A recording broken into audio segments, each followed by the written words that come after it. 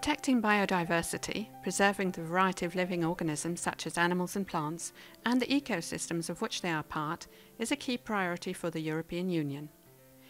The Union's biodiversity strategy sets the target to halt the loss of biodiversity in the EU by 2020. It tries to achieve this by a mix of legislation and funding. Rather than setting up a new fund, the EU decided to support biodiversity from its existing funding schemes.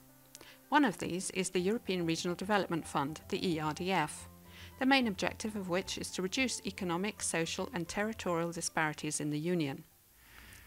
We examined whether the European Regional Development Fund, the ERDF, had been used effectively directly to promote biodiversity. We found that of the 200 billion euros distributed to member states, over the seven year period 2007 to 2013, some 2.8 billion euros, almost 1.5% of the funds available, was allocated to projects promoting biodiversity.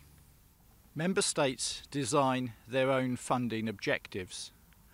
We found that many funds were being used to develop management and implementation plans we also found that other sources of funding were being used, so not all member states chose to use ERDF money directly to promote biodiversity.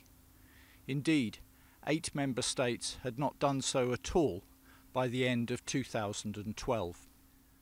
When member states did use the ERDF for promoting biodiversity, the rate of spending did not keep up with that of other ERDF projects. And member states did not generally assess the impact on biodiversity of their projects. Our auditors went to five member states which accounted for more than two thirds of all direct expenditure on biodiversity from the ERDF the Czech Republic, Spain, France, Poland, and Romania. In Spain, the ERDF supported three large projects to restore riverbanks. However, in one other case, money reserved for the promotion of biodiversity was used in large part to restore a castle, where the biodiversity component was minimal. In Poland, the National Programme for the Protection of the Capercaillie was supported, but the programme faced delays in being accepted by the responsible government body and, at the time of the audit, was not yet approved. In Romania, 10 bison were required for the Vânătorii Neamț National Park, the auditors found that the sustainability of the project was uncertain, since management plans did not contain any information on the future financing and the project had not yet been approved by the Ministry of the Environment. We as EU auditors recommend that if more tangible results are to be achieved, the plans that have been funded with ERDF money will need putting into action. The European Commission should make sure that Member States evaluate the changes in habitats and species following the completion of funded activities. And the Commission should put together an accurate record of EU spending, both direct and indirect, on biodiversity. The European Commission has agreed to take action on nearly all of our recommendations.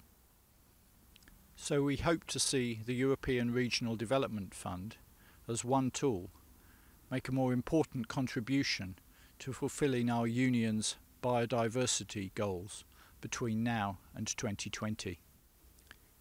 If such improvements are made, it will demonstrate that a focus on economic growth and the environment agenda work together.